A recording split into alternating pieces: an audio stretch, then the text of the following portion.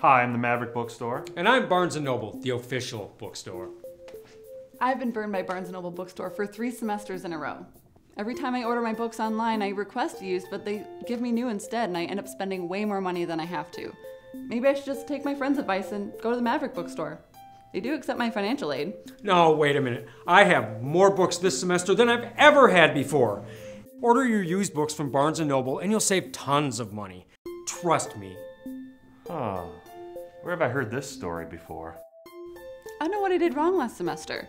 I ordered my books online from Barnes & Noble bookstore, and I requested all used books, but I got all new. My friends told me about a place called the Maverick Bookstore, but I don't think they take my financial aid. Now, I have more books than anyone in Mankato, and I accept your financial aid. Trust me. Where have I heard this before?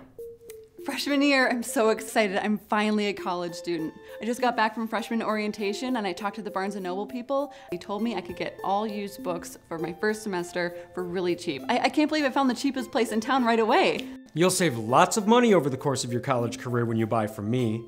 Trust me.